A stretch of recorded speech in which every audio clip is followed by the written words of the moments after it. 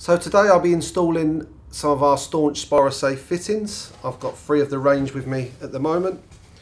Just to highlight again, we've got the double rubber system, which obviously eliminates the mastic, makes it airtight, and it obviously gives you a tidy install, especially when you've got those systems and those jobs where the work is on show.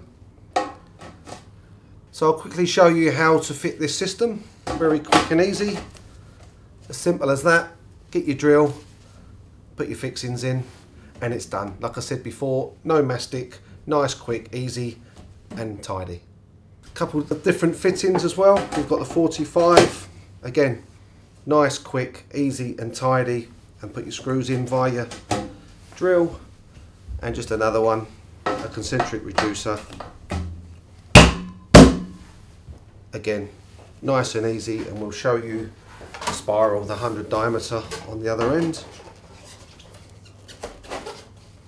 As simple as that. So again, get your fixings, get your drill, screw fix. So hopefully that was helpful. However, if you or your team would like some more information on this, a site visit or maybe further training, please head over to greenmilldesign.com to book your training session via the virtual training calendar. Or if easier, please send us an email. Thanks for listening. Hope to hear from you soon.